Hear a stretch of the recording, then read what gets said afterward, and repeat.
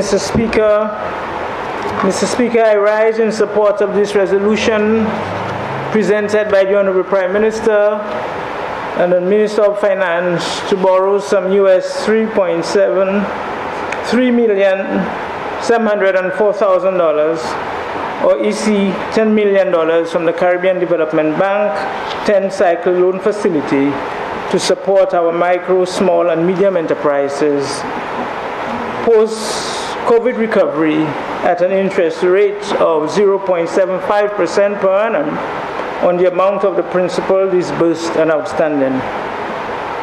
Mr. Speaker, I'm lending my support to this borrowing for several reasons. Firstly, Mr. Speaker, we all know that COVID dealt a debilitating blow to businesses worldwide, especially micro and small businesses. In St. Lucia, many of our small businesses had to close their doors. They could not meet operating costs. They could not pay their staff. They could not pay their rent. They could not purchase stock. They could not pay their electricity bill. They could not pay the water bill. In fact, Mr. Speaker, businesses were on their knees they did not know where to turn. And most of them, when you, when you had a conversation with the owners, ended up using all their savings. Mr. Speaker, for those who survived, they had serious cash flow problems, and for them, the future looked bleak. Worldwide, Governments responded in various ways to address the situation by providing subsidies, stimulus packages, tax breaks, amnesties, grants and loans at uh, no or low interest rates, and the list goes on.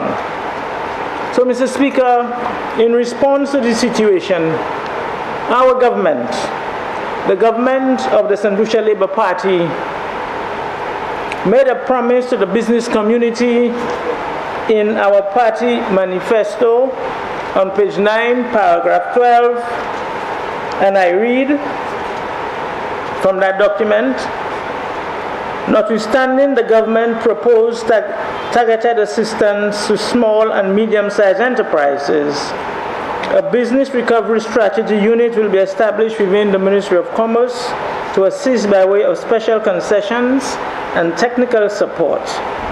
Companies which have been badly affected by the COVID-19 pandemic. End of quote.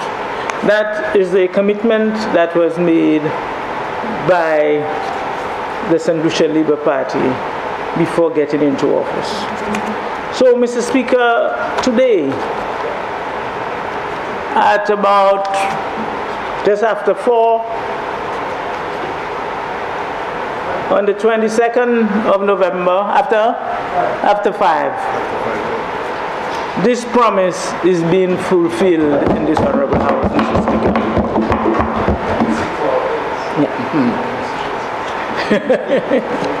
Mr. Speaker, for the first time, small businesses in St. Lucia are receiving focused focus attention. Yes, leader of the opposition. For the first time, small businesses in St. Lucia are receiving focused attention from the government. A government that made a promise to put the people first. Mr. Speaker, this facility will be allocated for financial and technical support to our MSMEs island-wide. The loan grant facility will be disbursed at a ratio of 70% grant and 30% concessionary loans to entrepreneurs with a viable business idea, whether seeking to start a new business or to expand a current operation. Mr. Speaker, the initiative also intends to provide targeted training and technical support to participants in areas such as financial management, marketing and development of the e-commerce capacity. This intervention, Mr. Speaker, and several other interventions being undertaken by the Ministry of Commerce, some of them I, I outlined earlier today, are all focused on preparing small business owners and entrepreneurs to better understand business operations, improve financial literacy, as well as embracing digitization and e-commerce. Mr. Speaker, apart from the Business Forum, the Small Business Development Center has been hosting what we call virtual Lean Canvas business plan models and design thinking workshops for the better part of this year.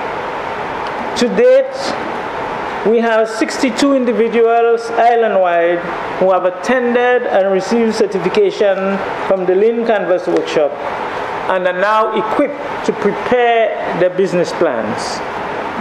Currently, a two-day business planning workshop is slated for November 24th and 25th, that is Thursday and Friday, God willing, in Soufrière. That training is sponsored by the Embassy of Taiwan. In addition, there is a design thinking workshop currently underway, which commenced yesterday and continues up to November the 25th. This will soon be followed by another Lean Canvas workshop earmarked for November 29th to December the 2nd. Basically, this is providing you with a snapshot of the pot full of activities planned just within a 10 day period to enable our business owners to be adequately prepared for this facility. Mr. Speaker, just last week, we engaged personnel from the OAS while I attended a workshop in Ecuador. We engaged them seeking additional funding for training in business plan preparation. We think we need to intensify this training in order for us to effectively and efficiently disburse the funds to the business community. Mr. Speaker, under the small, micro, medium, small, micro digital enhancement program, my ministry is seeking to build e-commerce capacity and digital presence of our MSMEs component one of the program now being, is now being implemented focuses on identifying and developing our local digital platforms, readying them to meet international standards as it relates to security and accessibility. Under component two, my ministry will facilitate the uptake of these platforms by our beneficiary MSMEs enabling them to conduct business online, being able to transact digitally ac across both the domestic and export market. Mr. Speaker, the, the business world has changed. It is no longer business as usual. To remain competitive, our businesses must now move away from the mere brick and mortar and secure an online presence in the global sphere. Again, my ministry, in collaboration with the Organization of American States, has launched a Women's Economic Empowerment Initiative to help women in the OECS region embrace the digital economy. This initiative is a three-year project which encourages women to be more cognizant of the possibilities and benefits of a digital economy. Mr. Speaker, this morning I mentioned about the Business Banking and Regulatory Compliance Symposium, and there we presented a concept, the concept of what we are doing to a captive 60 business owners and other stakeholders in, in preparing them to capitalize on this opportunity. And I can tell you, Mr. Speaker, all those who were present were ready to embrace this micro small grant facility. Mr. Speaker, our MSME account for more than 50% of our GDP and 80% of jobs, or roughly 39,000 jobs in our country. They have a significant impact on our island's economy and social fabric. Therefore, providing relief to these businesses is not only a nice thing to do, but rather it is the correct thing to do. That's right. It must be part of our core mission as well as our strategy to grow our economy and contribute to the social and economic development of our women, youth, and youth, which forms a major part of this subsector. Mr. Speaker, the loan grant facility will be launched in the coming weeks, subject to receiving the stamp of approval from this august body. So I humbly exhort all members to provide that support to this resolution. So, Mr. Speaker, who will benefit from this facility? I can tell you, based on the, the decisions that we've made, St. Lucian nationals between the ages of 31 and 60. Those younger will focus on the youth economy.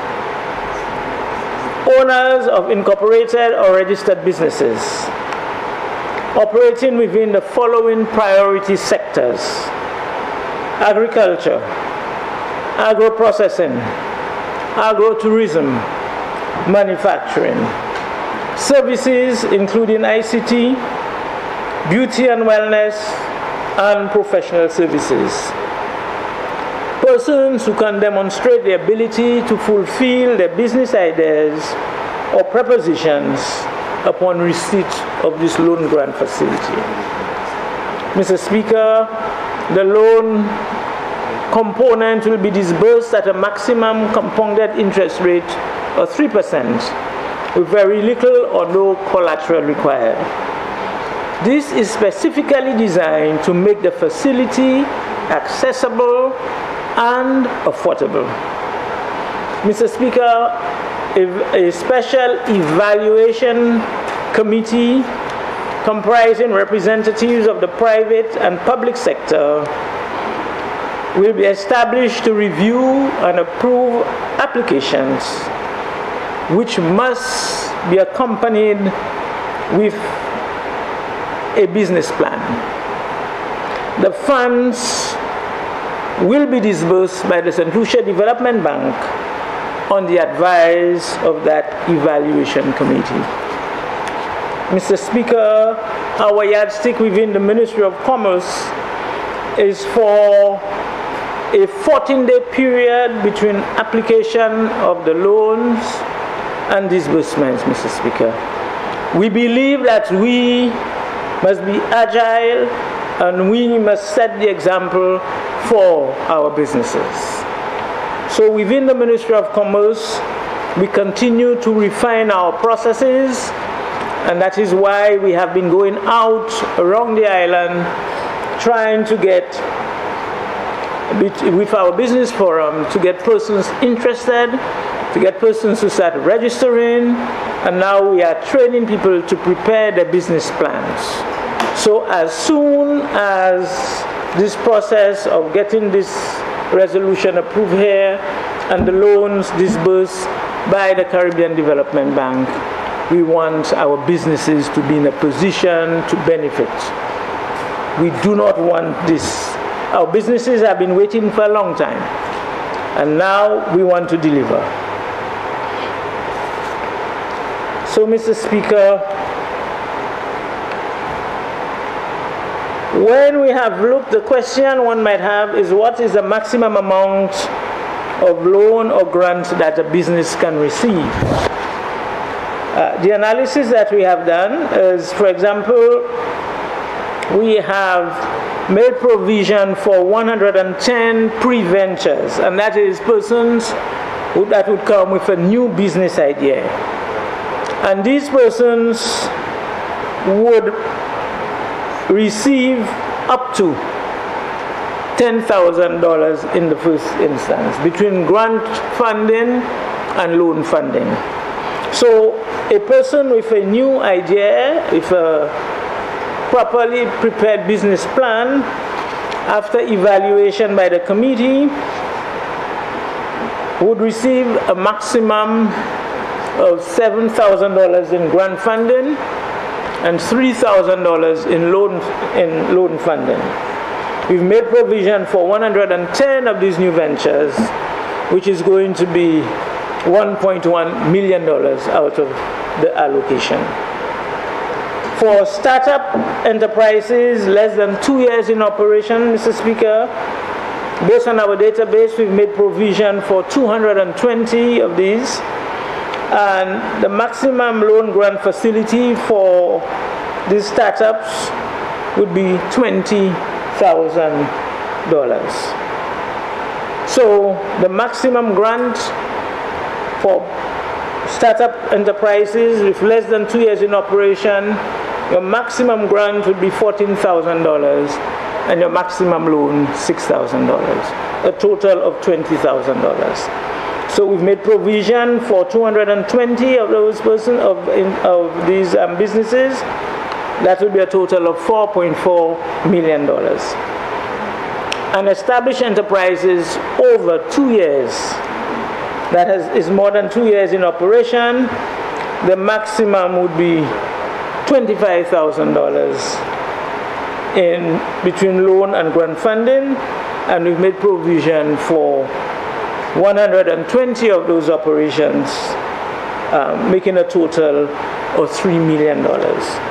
So out of the $10 million, Mr. Speaker, we have made provision for $8.5 million going directly to the business community between loan and grant funding, Mr. Speaker. The balance of 1.5 will go into, I think about 500 is going to SLDB for the disbursement, for the fees in disbursement, and the other million dollars would be in technical support to ensure and, and handholding to ensure that these businesses survive. That is the sustainability pro program that we have put together, Mr. Speaker. So, Mr. Speaker, what are some of the conditions of the loan, what we can use those funds for?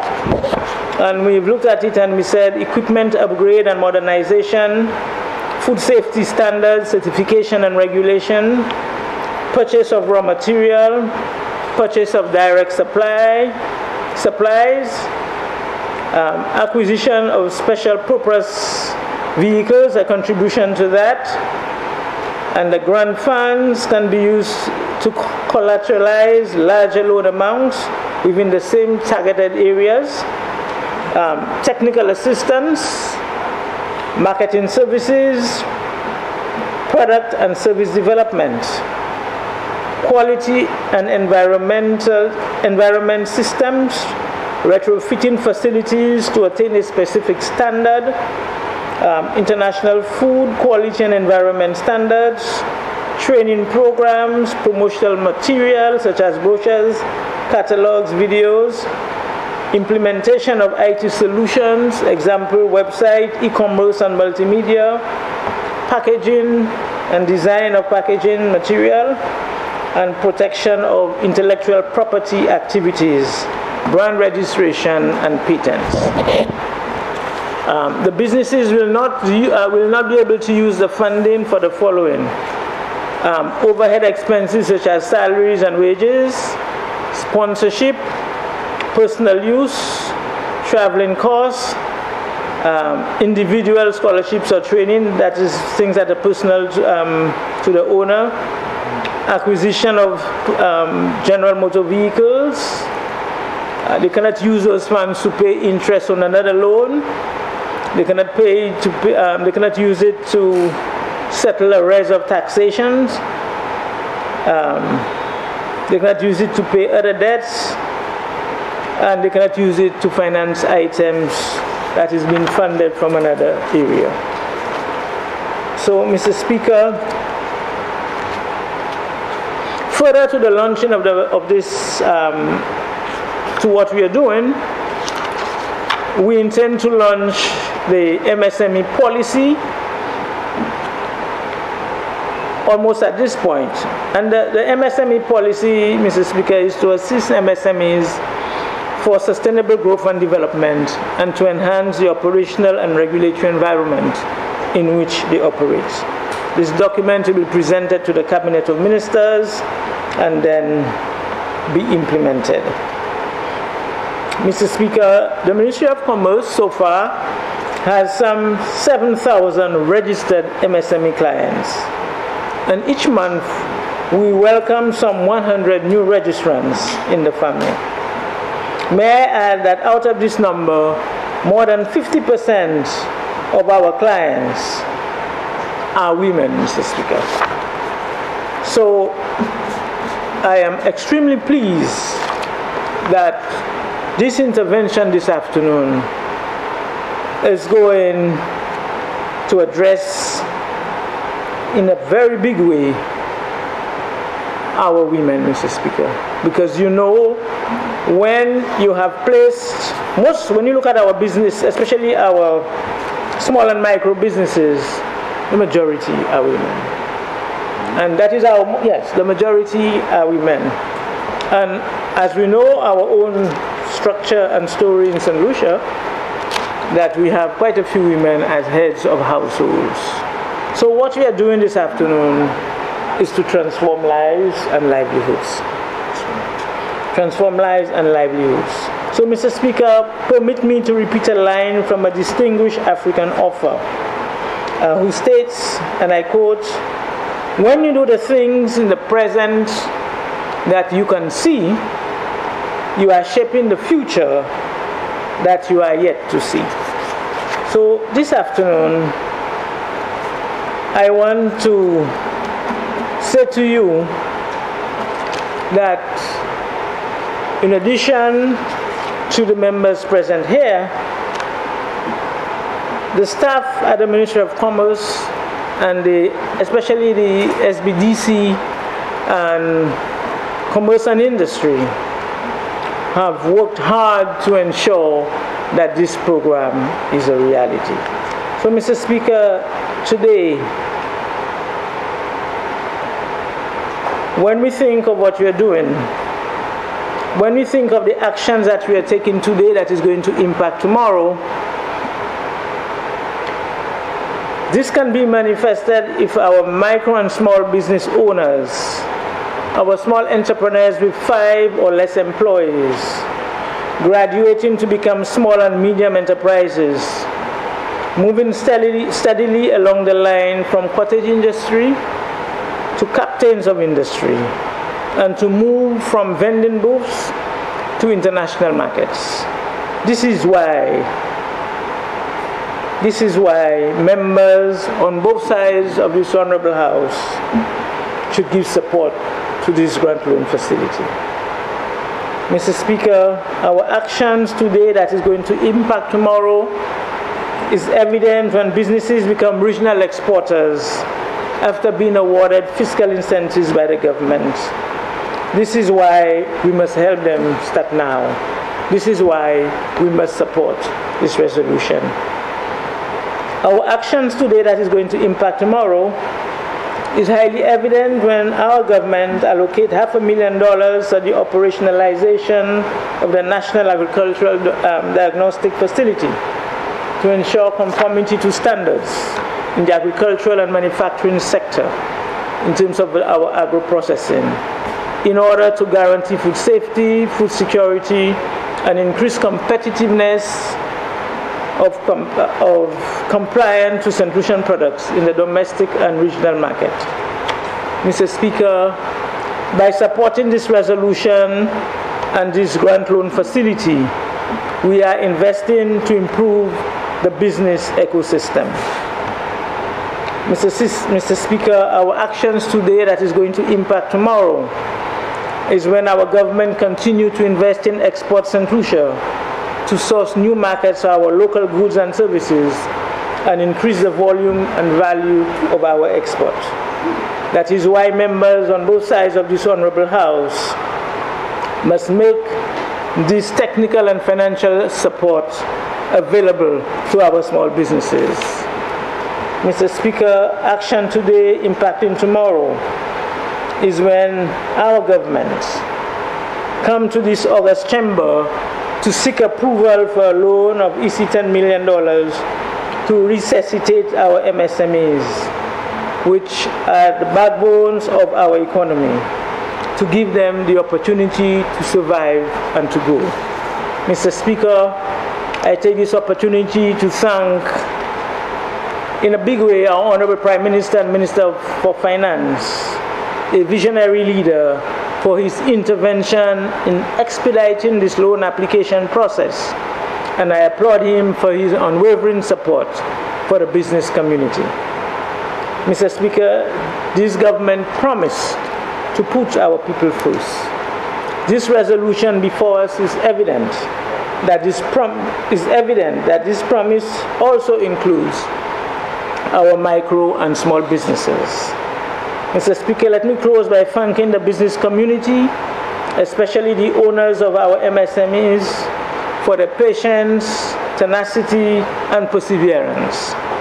Today is a momentous occasion for our MSMEs. Your government has kept its promise and placed you first. So, I look forward to political colors and personal persuasions being set aside as we unanimously approve this loan grant facility for our micro and small business sector. They really need it and deserve all our support. May God help us as we try to bring new energy in our small business sector. I thank you.